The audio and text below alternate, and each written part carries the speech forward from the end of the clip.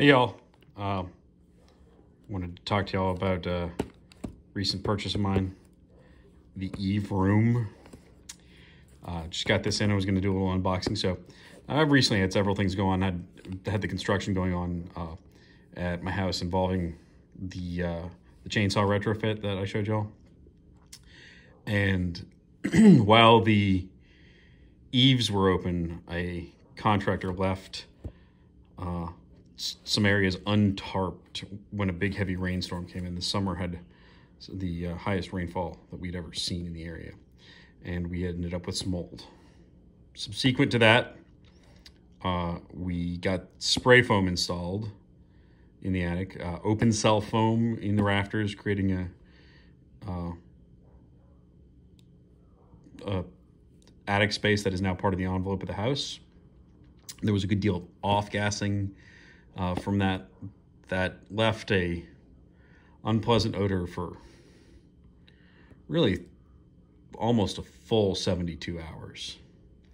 It, we even detected some hints of it after that. Uh, then, then, you know, Omicron hit. Uh, some question as to who in the family might have even gotten it. So, uh, indoor air quality has been a topic of concern recently. And Eve recently updated their Eve room to include Thread. And I've, I've been big on Thread. It, uh, it really works better than Zigbee, in my opinion. Things actually work with hubs. And um, Eve uh, makes HomeKit devices. I'm, I'm big in the HomeKit ecosystem. Um, nothing is stored on a server. It's all stored on the local device or on your either the local Eve device or your local hub, uh, which I have both Apple TVs and a HomePod Mini. So I decided that this would be a, good indoor air quality sensor. Uh, one one thing that I did want that uh, I couldn't necessarily find uh, everything I wanted all on one device wanted HomeKit, and I wanted it to have VOCs, the, the mold and the uh, spray foam are both big VOC candidates. I really would also like to have, uh, you know, something like PM 2.5. Might need a different sensor for that. Just doesn't seem like any of the VOC sensors have PM 2.5s. Uh, particularly the European sensors and Eve is a uh, German company, I believe. Uh, the European sensors just don't do PM 2.5 for indoor because they consider it an outdoor issue and their their buildings there tend to be built much tighter. And i'm i'm trying to improve the tightness of my building day by day but it, it's not there yet. I, I, still have a lot of old leaky windows.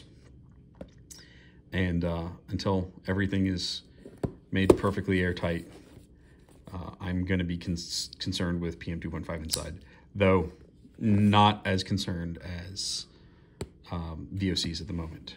So we'll begin with the hard task of depth perception while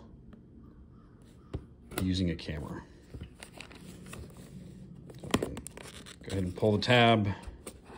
The box seems on par with most Eve accessories I've purchased, which is a little bit higher quality than your your average smart home device, but not anything absolutely stunning. Oh, that's nice. It's got a little flap. Got the card with the HomeKit code, little instruction manual, satisfaction card, and then the actual Eve room device and a charging cord, which is, oh, come on into focus, micro USB, not USB-C. That's disappointing. So that's the device, that's its thickness. It's got the, there's the charging port, so that's nice that it charges. Is there something to hang it on, maybe? Or does this have to sit on? Looks like it has to sit on a table or something. It would have been nice if I could have hung it from a wall, maybe a, I guess I can't, can't really do double-sided tape with that uh, charging port on the back there. I'll make it work though. Uh, really, this probably could go out of the way on top of a piece of furniture or something. So I'm gathering that this probably comes uncharged, and I guess this is an e-ink display. That's what it looks like. That's nice, because that will use very little battery, as will Thread. So I was saying, I really like Thread.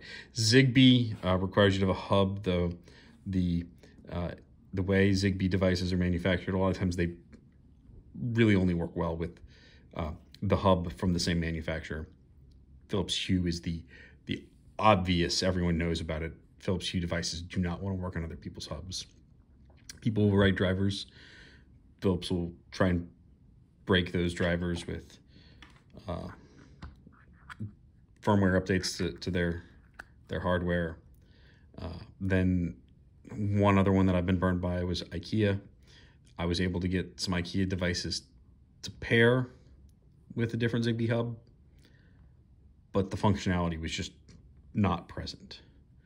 Um, if you really want to get deep into something like uh, like Home Assistant or uh, you know what is it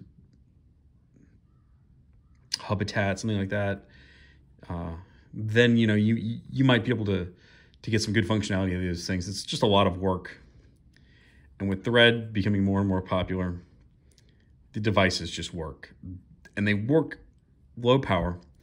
And one benefit that Thread has over over Zigbee is it's IP addressable. And to the average consumer, that probably doesn't mean much. But I find that IP addressable items just tend to to work better. There's less dropping and failure to connect issues. It's it's like a separate Wi-Fi network essentially for just smart home devices. I've been very pleased with it. And and the thread might not have quite the low power usage leading to extended battery life that Zigbee has, uh, but it's much better than Wi-Fi or Bluetooth devices. Uh, Bluetooth doesn't have the range. Wi-Fi just drains the batteries. Thread is a very nice middle ground that kind of accomplishes lots of different needs in the smart home industry. So uh, I was very happy when I saw that this came out as a Thread device. And Eve has committed to making all of their devices Thread. Um, with Matter coming out, that's going to be another big thing. So very uh, happy to see that Eve made this as a Thread device. Uh, what I'm going to go ahead and do now is I'm going to uh, stop this video and I'll go charge this.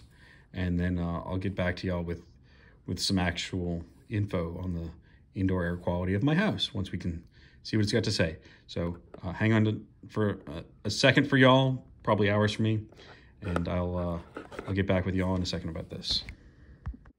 And I'm back. So got it fully charged, got it acclimated to the space. Uh, really pleased. Uh, aluminum bezel, solid the whole depth really nice. E-ink display, as I mentioned, confirmed. Uh, got some different settings on how we can look here. Uh, so you can have the, the leaf and the stars with the temperature and humidity in, in the corner up there. Uh, you can have big temperature, little humidity, stars. Little temperature, big humidity, stars. Uh, this is this is kind of the one I, I like because uh, a lot of times I want to know humidity uh, just as much as I want to know temperature. And then the, the stars representing the indoor air quality. Uh, quick look on here. Um, deeper dive in terms of micrograms per liter of air on VOCs uh, can be had in the app. Gives you history, uh, I'll probably ultimately, once I put this in its place, not be looking at this much at all. This will be more in the space to be the sensor. And I'll be viewing the stats on the app. Uh, overall, you know, thread, e-ink, you know, low power usage measures a lot of the things that I'm looking for. Could it measure more? Sure. Uh, but especially, especially in, in, a package this size, this is great. Um, and, you know, maybe I'll get some different sensors and place them in different places around the house. Uh, really, really like this. Really pleased it's thread now. Uh, this makes, let's see, I've got three thread Eve plugs, two thread Nanoleaf bulbs. Now this thread Eve room, and of course the HomePod Minis, the thread border router. Um, I'm building a nice little thread network uh, already while, while thread devices are just starting to, to appear. I notice Eve has announced they're going to have thread uh, motorized window blinds. Not really my style. Uh, I go with much more traditional drapes, personally. Uh, but uh, if you are into that, the more modern style with the the solid window blinds, I would I would check that out. But uh, and Eve is really knocking it out of the park with some of their their products. Really pleased with this.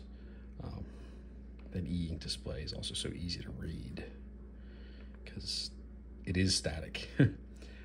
just just wanted to let y'all know uh, how I'm enjoying this product, and uh, hopefully uh, my dehumidifier will be installed in my house uh, in in, in within a, a week. Uh, I've got a, a new VOCOlinc humidifier in the bedroom for for days like today when it is very dry. I'm trying to keep that humidity in that 48 to 53 percent range. Uh, having a device like this will help. Though the VOCOlinc actually has its own uh, humidistat inside of it as well, so even more data uh, help increase my indoor air quality, reduce my energy usage. Uh, thing things are going to be very pleasant with that, and you know, decreasing that energy usage decreases your reliance on others, reliance on the power company, either just less reliance on them, or ultimately maybe can lead to you uh, getting energy independence. So, just wanted to share that with y'all. Thank y'all for watching uh, go ahead and ask you to do the internet video thing. Hit like, hit subscribe. There's the, the little bell button, I don't know, somewhere around there for notifications. Um, do all that. You know, you could get in the comments, treat me like uh, like you treat Grantham, make fun of my medium-sized man hands, as he would call them. Uh, you know, engagement is engagement, so let's get engaged. Uh, you know, in the spirit of Grantham. I'll offer y'all some, some dad advice. Never park directly in front of the bar. All right, thank y'all for watching. Talk to you later.